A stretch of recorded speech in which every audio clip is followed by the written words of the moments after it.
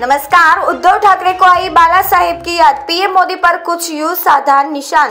शिवसेना अध्यक्ष उद्धव ठाकरे ने भारतीय जनता पार्टी पर निशाना साधा। उन्होंने कहा कि प्रधानमंत्री नरेंद्र मोदी यहाँ तक नहीं पहुँचते, अगर बाला ठाकरे ने उन्हें तब बचाया नहीं होता।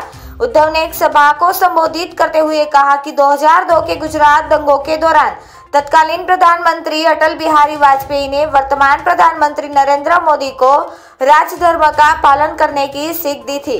लेकिन तब बाला साहेब ने हस्तक्षेप करते हुए कहा था कि यह समय की मांग थी। यदि उस समय बाला साहेब ने हस्तक्षेप न किया होता तो मोदी आज इस ऊंचाई पर नहीं पहुँचते।